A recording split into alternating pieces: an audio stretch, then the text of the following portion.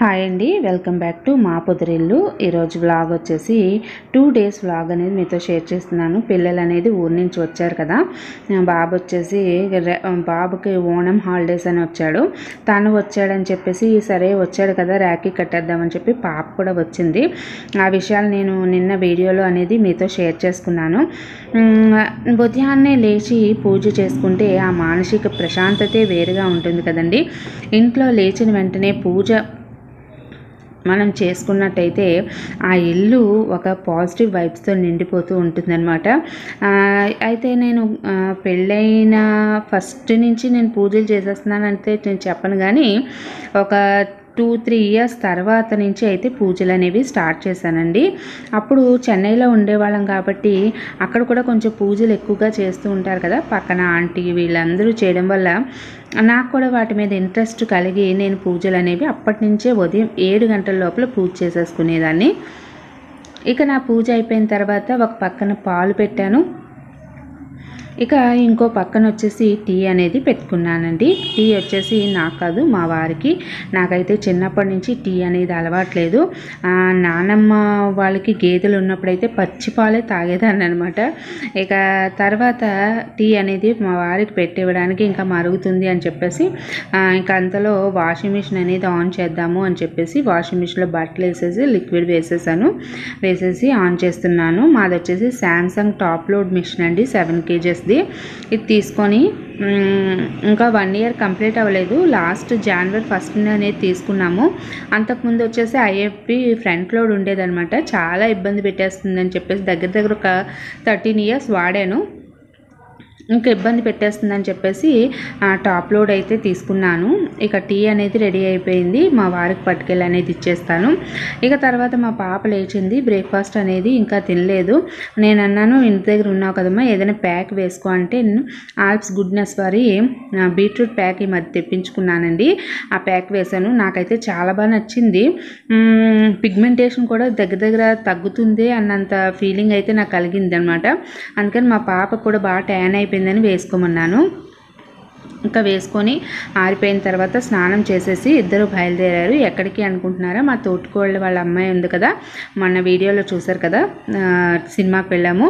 తను వచ్చేసి బయటికి అవుటింగ్ వెళ్దాము అన్నదన్నమాట. అంటే లంచ్కి వెళ్తున్నారు ఇద్దరు కూడా బయలుదేరి. తను అక్కడికి వచ్చేస్తానన్నది వీళ్ళిద్దరు ఇలా వెళ్తున్నారు. తోటికోళ్ళ పిల్లలైనా సరే సొంత అక్కచెల్లెల్లాగే అనేది వీళ్ళు అన్నీ షేర్ చేసుకుంటారండి. ఇక వాడైతే బైక్ డ్రైవ్ చేస్తున్నాడు. మా పాప వెనకాతల కూర్చుంది. బైక్ నేర్పించమని చెప్తుంది కానీ నేర్పించడం అంటూ ఉంటాడనమాట ఇక తర్వాత ఇది వచ్చేసి మరుసటి రోజు బ్లాగు. ఆ రోజు అనేది అలా గడిచిపోయింది. వాళ్ళు వెళ్ళి రావడం ఇక అంతా అయిపోయిందనమాట లంచ్ అనేది నేను ఆ రోజు ఏమీ ప్రిపేర్ చేయలేదు. కొత్తిమీర పచ్చడి ఉంటే వేసుకొని తినేసాము. మేము మా వారు. ఇంకా మరుసటి రోజు ఉదయం కూడా ఈ విధంగా పూజ అనేది చేసేసుకున్నాను. మీకు ఈ పూజ డీటెయిల్స్ ఏమేమి చేస్తాను ఎలా చేస్తాను అనుకున్న దానికి మన Uma's cute home channel pure only పూజలే అనేవి అక్కడ చెప్తూ ఉంటానండి పరిహారాలు. మీకు చూడాలి అనుకుంటే ఒకసారి ఉమా క్యూట్ హోమ్ని విజిట్ చేయండి. మీకు మంచి ఇన్ఫర్మేషన్ అనేది అక్కడ మీకు వస్తుంది. ఇక తర్వాత ఈ విధంగా ముగ్గులు వేసుకున్నాను. పైన ఈ విధంగా ఫోటో పెట్టుకున్నాను. వాస్తులక్ష్మి అమ్మవారి ఫోటో. నా పూజ కంప్లీట్ అయ్యేటప్పటికి ఫైవ్ ఫిఫ్టీన్ అయింది. అంటే ద్వారలక్ష్మి పూజ. ఇక మెయిన్ పూజ కంప్లీట్ అవ్వాల్సింది ఉంది ఇక అంతలోకి మా పాప వచ్చేసి పిలుస్తుంది అనమాట ఏంటి అంటే త్వరగా లేచిపోయారు ఈరోజు అమ్మ ఇలా ఫోటో తీయు అన్నది. ఎందుకంటే ఒక ఫైవ్ టెన్ ఇయర్స్ తర్వాత మళ్ళీ రీక్రియేట్ చేసుకోవడం బాగుంటుంది అన్నది. సరే అని ఫోటో తీసేసాను. ఇక ఆఫ్టర్నూన్ వచ్చేసి బీరకాయ పాలు చేసి అన్నం వండానండి. ఇంకే కర్రీ చేయలేదు. నేనైతే రోజుకి రెండు మూడు కూరలు అయితే వండుతానని చెప్పనండి. మ్యాక్సిమం ఒక కూరే వండుతూ ఉంటాను. అయితే రసం పెడతాను. ఈరోజు రసం కూడా పెట్టలేదు. ఎందుకంటే పాలు బీరకాయ కర్రీ చాలా ఎక్కువగానే చేశాను అనమాట ఇక చాలా రోజులైంది కదా తినిపించి తినిపిస్తానంటే తినిపించమన్నారు. మా బాబు అయితే "ఆ, ఫస్ట్ వద్దన్నాడు నేను తినేస్తాను అన్నాడు. లేదు నా అక్క వాళ్ళ అక్క అన్నది ఇద్దరు కూర్చొని తిందామన్నారు.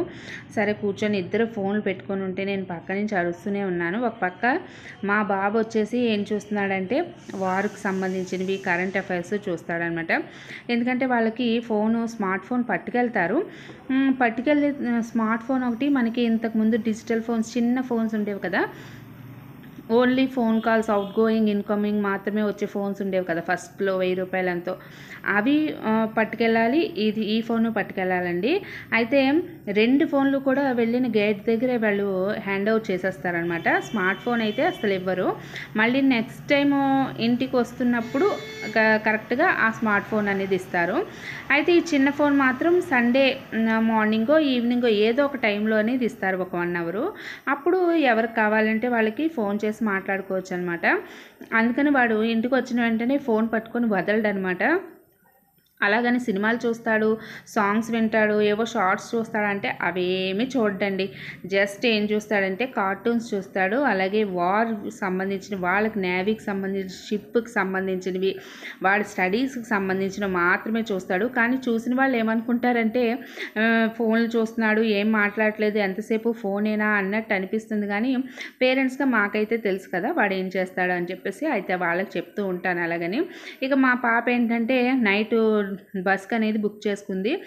బుక్ చేసుకుంటుంది అనమాట వెళ్ళడానికి. అది కన్ఫర్మ్ అవుతుందా లేదా అని చెప్పేసి టికెట్స్ రేట్స్ అవన్నీ చెక్ చేసుకుంటుంది ఒక పక్క నుంచి. నేనైతే ఏదో మాట్లాడుతూ ఉన్నాను. మీకు ఒక రహస్యం చెప్పాలంటే ఇప్పటి వరకు మీరు చెప్తే నమ్మరు.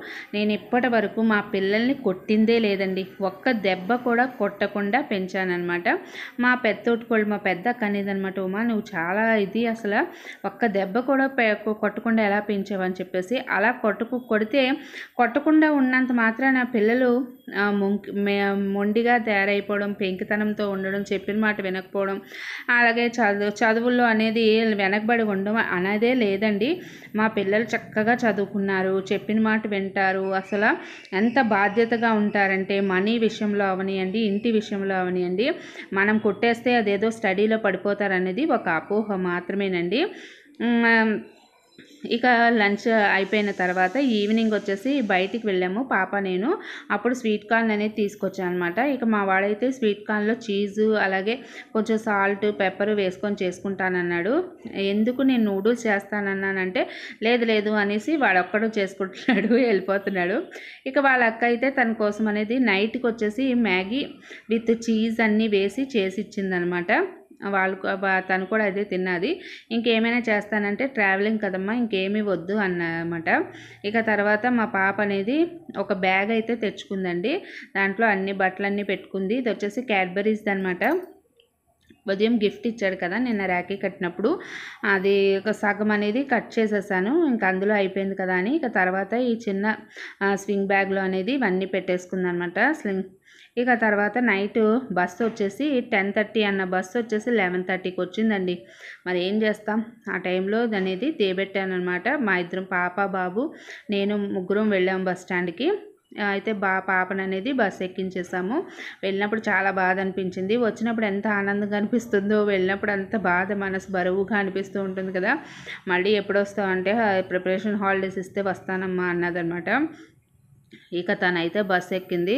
ఇక బస్సు కదిలే వరకు అక్కడే నిలబడితే మా వాడంటాడు చాలు చాలు ఇంక పద పద ఇంటికి వెళ్దాం అన్నాడు. లేదురా ఉండరా బస్సు కదిలేక వెళ్దామని చెప్పేసి నేనైతే అలా వెయిట్ చేస్తున్నాను అనమాట ఇక బస్సు అయితే కొంచెం సేపటి కదిలింది.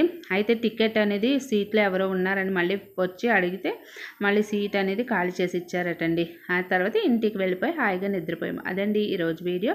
నచ్చితే ఒక లైక్ చేసేయండి.